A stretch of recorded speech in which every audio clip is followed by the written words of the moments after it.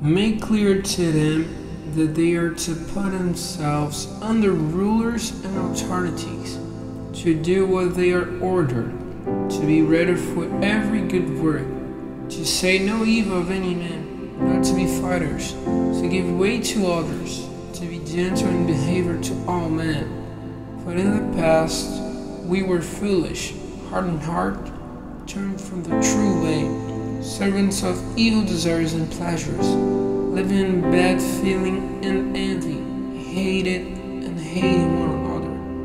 But when the mercy of God our Savior and his love to men was seen, not by works of righteousness which we did ourselves, but in the measure of his mercy, he gave us salvation through the washing of the new birth and the giving of new life in the Holy Spirit, which he gave us freely through Jesus Christ our Savior, so that having been given righteousness through grace, we might have a part in the heritage, the hope of eternal life.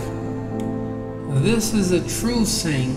It is my desire that you may give certain witness about these things, so that those who have had faith in God may give attention to good works.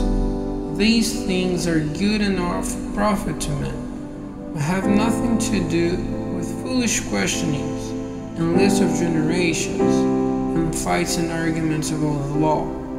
For they are of no profit and foolish. A man whose opinions are not those of the church, after a first and second protest, is to be kept out of your society. Clearly, he is an error sinner, being self judged. When I sent Artemas or Tychicus to you, do your best to come to me at Nicopolis, for it is my purpose to be there for the winter. Send Zenas, the man of law, and Apollos on their journey with all care, so that they may be in need of nothing, and let our people go on with good works for necessary purpose, so that they may not be without fruit. All who are with me send you their love.